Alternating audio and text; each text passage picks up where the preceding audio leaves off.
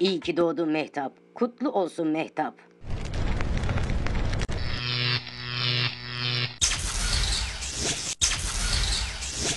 Sen hatırlamazsın ama yıllar önce tam da bugün dünyaya gelmişti.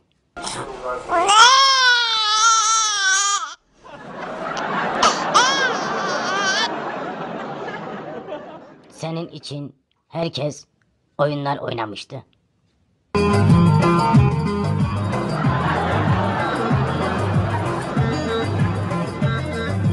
Arkadaşların senin için türküler söylemişti.